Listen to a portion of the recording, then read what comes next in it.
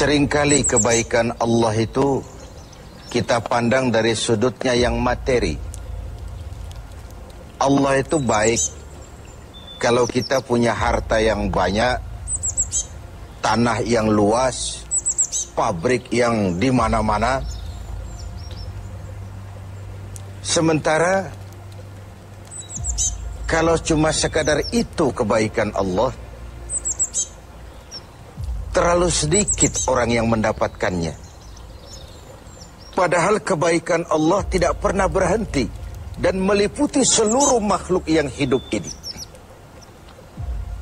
Karena itu pada kesempatan jumpa sore ini, saya ingin mengajak kita melihat kebaikan-kebaikan Allah dalam bentuk yang lain. Bahwa kita diberikan harta yang banyak, itu kebaikan Allah diberikan tanah yang luas itu juga kebaikan Allah. Diberikan perusahaan pabrik di mana-mana itu juga kebaikan Allah. Tapi tidak terbatas kepada itu. Ada kebaikan-kebaikan yang non materi yang malah justru itulah esensi kebaikan itu. Mari kita renungkan sebuah hadis di mana baginda Rasul bersabda arba'atun man u'tiyahunna faqad u'tiya khairat dunya wal akhirah. Ada empat hal. Siapa yang oleh Allah diberikan keempat hal ini, sungguh dia telah diberikan kebaikan dunia dan sekaligus kebaikan akhirat. Kebaikan dunia juga kebaikan akhirat. Ini berarti belum tentu yang baik di dunia menurut kita akan berbuntut baik juga di akhirat. Tapi orang yang diberikan empat hal ini, dia sungguh diberikan kebaikan dunia dan juga kebaikan akhirat nanti. Apa empat perkara ini? Yang pertama, kolban syakir. Orang yang oleh Allah diberikan hati yang pandai bersyukur. Ada ungkapan, my heart is my home. Hatiku adalah rumahku. Kalau luas hati, rumah yang kecil besar rasanya. Kalau sempit hati, rumah yang besar pun kecil jadinya. Kalau hati sempit, rumah pun kecil, kiamat namanya. Orang yang hatinya pandai bersyukur, bisa mensyukuri nikmat. Dan dengan dia bersyukur, semakin bertambah nikmat itu kepadanya. Banyak orang kaya harta, tapi miskin hati. Ini gejala zaman kita sekarang. Di tengah gemerlapnya harta, dia tidak tahu mau diapakan harta yang banyak itu.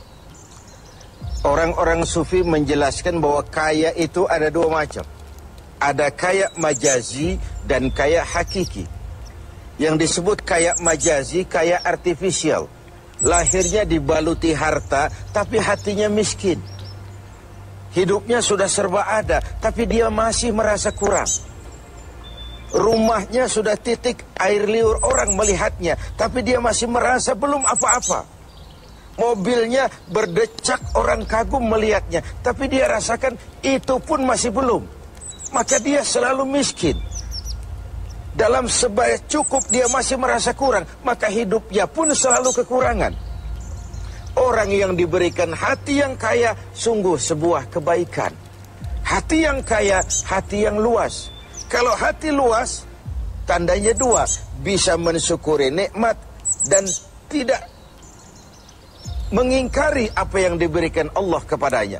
Tapi orang yang hatinya sempit biasanya tidak pandai mensyukuri nikmat dan lebih celaka lagi ini tidak senang lihat orang lain mendapat nikmat. Orang seperti ini ya susah gemuk. Sudah tidak bisa mensyukuri nikmat, tidak senang lihat orang lain mendapat nikmat. Tetangganya beli televisi saja dia demam.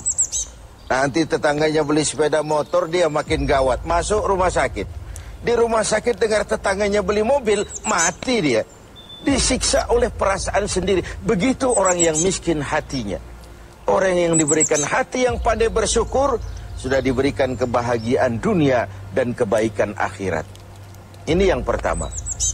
Yang kedua, walisanan zakira Orang yang diberikan lidah yang pandai berzikir.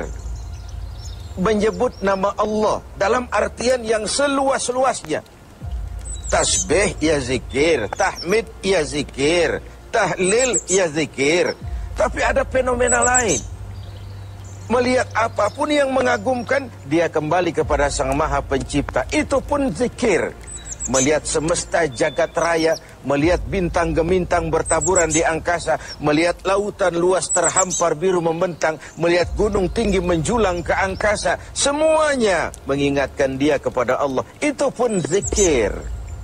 Diberikan lidah yang pandai berzikir. Mengingat Allah dalam segala keadaan. Dan bukankah Islam mengajarkan seperti itu? Dari hal-hal yang paling kecil. Memulai pekerjaan. Bismillah melihat sesuatu yang hebat, masya Allah.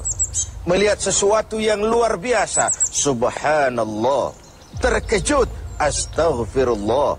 Berjanji, insya Allah. Semua dikaitkan dengan Allah. Inilah zikir itu. Hidup yang larut dalam alur ketuhanan. Yang ketiga, wabadanan alal bala'i sabir beruntung orang, diberikan kebaikan orang, kalau dia dikaruniai badan yang tegar menghadapi bencana, tegar menghadapi cobaan, kuat menghadapi tantangan.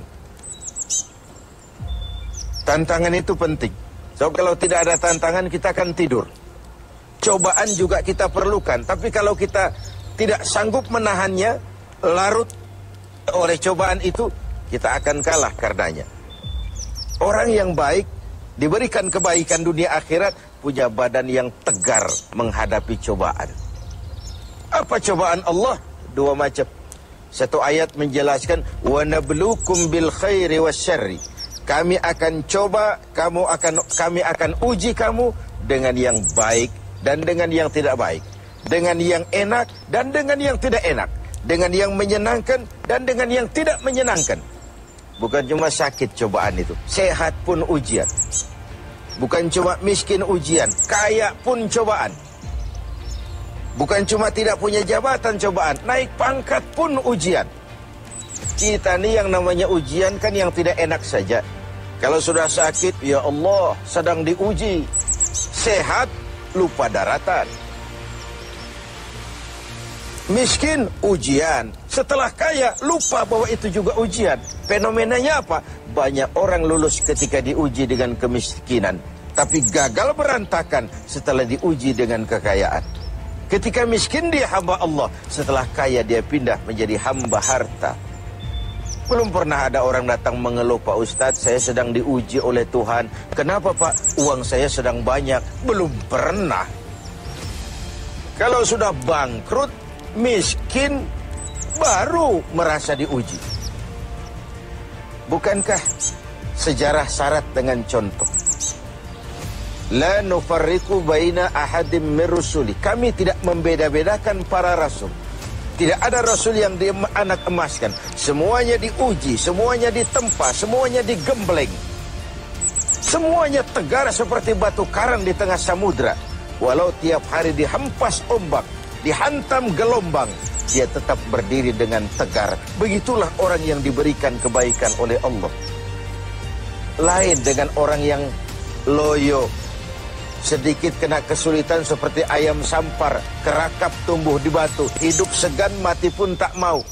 Skeptis, pesimis. Apa yang bisa kita lakukan kalau dasar hidup kita sudah skeptis dan pesimis itu tadi? Hidup ini adalah cobaan. Semakin tinggi kualitas keimanan, semakin berat cobaan itu. Semakin kokoh berpegang kepada agama, semakin kuat pula cobaan datang menerpa.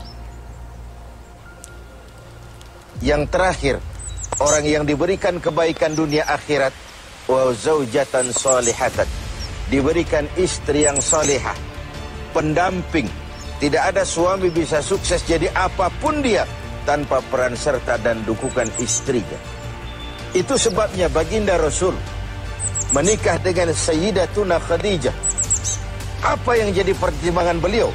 Mengawini seorang janda yang umurnya 15 tahun lebih tua pula dari beliau.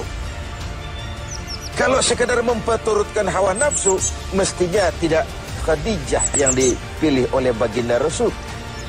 Mestinya kalau istilah kita sekarang cari ABG-ABG saja. Tapi jelas baginda Rasul bukan cuma sekedar mencari istri, beliau mencari seorang pendamping. Apa bedanya ini? Tiap perempuan bisa jadi istri, memang, tapi tidak tiap istri bisa jadi pendamping. Rumah tangga adalah awal kesuksesan kita di tempat lain. Karena itu, kalau diberikan istri yang solehah, itu sudah kebaikan dunia dan kebaikan akhirat.